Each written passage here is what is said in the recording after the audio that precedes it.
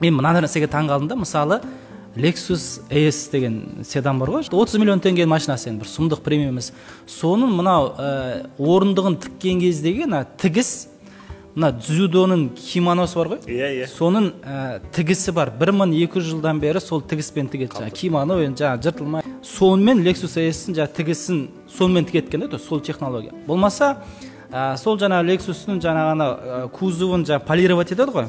Алюминийін. Аха. Ысқылайды ғой. Ол жаңағы жапонның самурайларын білесіздер әлемдегі ең өткір жаңағы қылыштары бар. Адам басын ә, лып етіп шауып жататын хадори деген қылыш. Сол қылышты баяғы мың жыл бұрын қалай өңдеді жаңағы қырын шығарды жүзін ә, қайрады. Сол тәсілмен полировать етеді екен да Ә, жапонияда не білесіздер? Ғой телемұнара тұр ғой дәу алты жүз метр. Иә иә.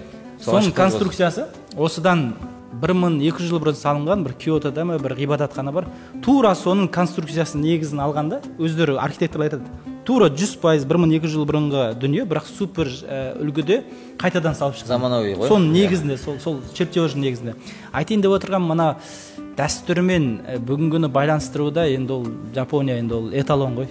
Біз ә, ол үшін аралдату керек пе еді әлде балық жеу керек пе еді енді ол мүмкін емес оған. Біз аралдату балық жедік бірақ